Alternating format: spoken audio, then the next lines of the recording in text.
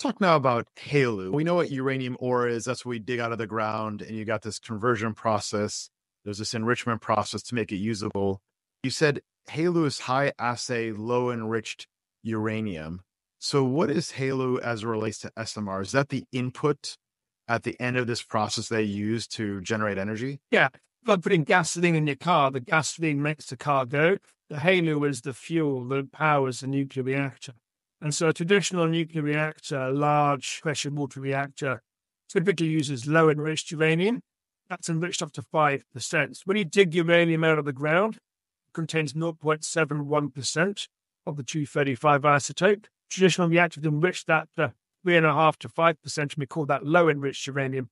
What these most of these SMRs need is is more enrichment to 19.75%. Your energy density per kilo is much, much greater. Right. In a facility. You can't produce HALEU in a plant that produces LEU. They're not, not licensed. Right. So, uranium ore, less than 1% enrichment. Traditional enrichment processes, really your competitors, enrich to call it a 5% standard.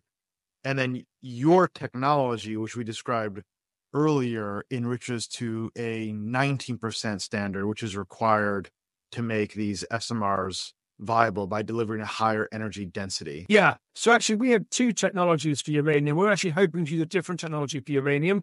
So we use the spinning vertical tube, or the vortex, the ASP process for elements or the molecules that are easy to convert into a gas. Not everything converts into a gas. And so for that, we have a laser based approach called quantum enrichment.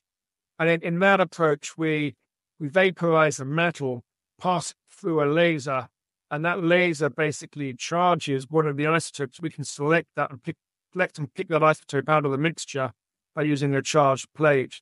So we're building our first quantum enrichment plant right now in South Africa. That'll enrich ytterbium-176. That's what we're actually using for HALEU. And the beauty about quantum enrichment, in our view, is that got an exceptional amount of enrichment per stage really strong efficacy.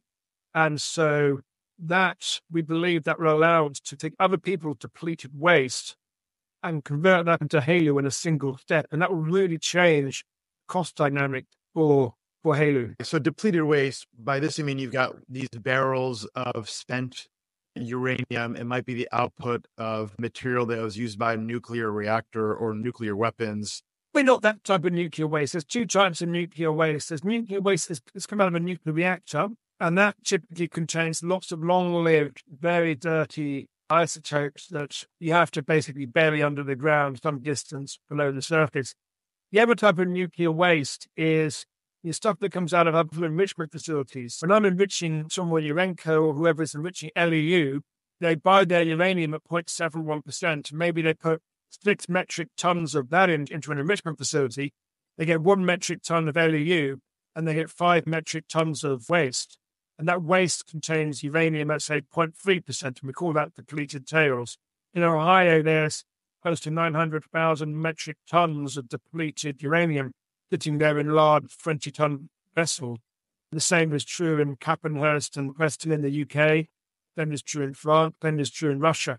And no one really knows how to get rid of these depleted tails right now. They've been sitting there for decades. And yeah, we can take those tails and re-enrich them back up to 19.75% using our process. That will really change the operating cost and the cost of production of HALEU. Got it. There's an ESG story here. There's getting more energy out of spent energy that you can get after.